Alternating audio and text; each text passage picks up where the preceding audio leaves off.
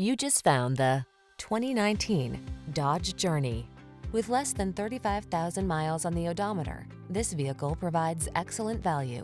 Here's a versatile Dodge Journey that offers the family-friendly space and convenience you're looking for at a surprisingly affordable price. The following are some of this vehicle's highlighted options.